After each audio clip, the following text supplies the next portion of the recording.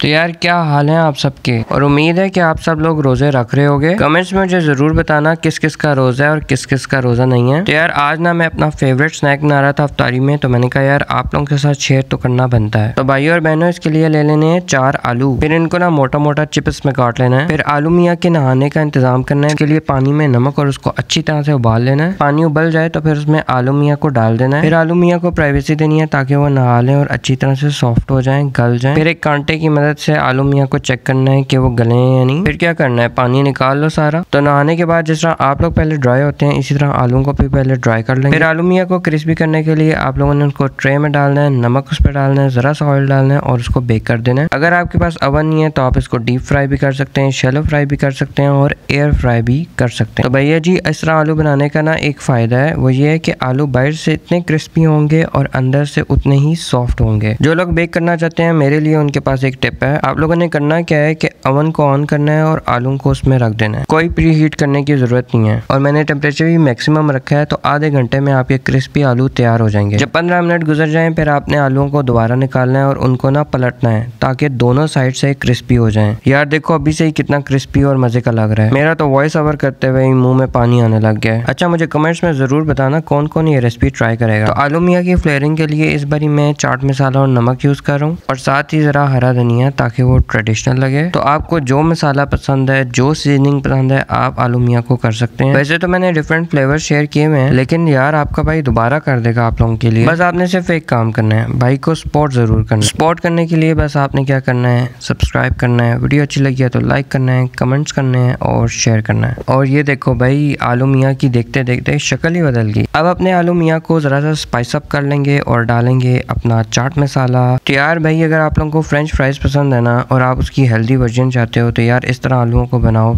मज़ा आ जाएगा तुम लोगों को। यार इन आलुओं को तुम लोग ऐसे भी खा सकते हो, वरना चटनी या गार्लिक में के साथ ये बड़े कमाल के लगते हैं। मैं चला अफ्तारी करने, दुआओं में याद रखना, अल्लाह हाफिज़।